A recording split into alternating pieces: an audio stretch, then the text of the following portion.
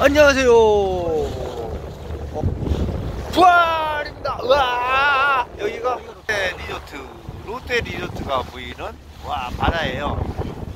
이야,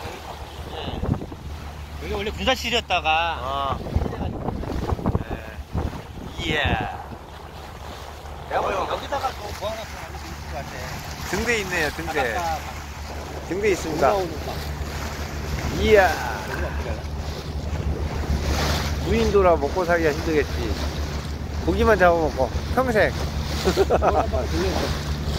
돌겠지 뭐. 우와. 우와. 이야. 우와. 여기는 뭐 태풍이 여기까지 안 올라오던데 뭐. 동해안 쪽은 뭐 별로 힘이 없어서. 이야. 어. 아,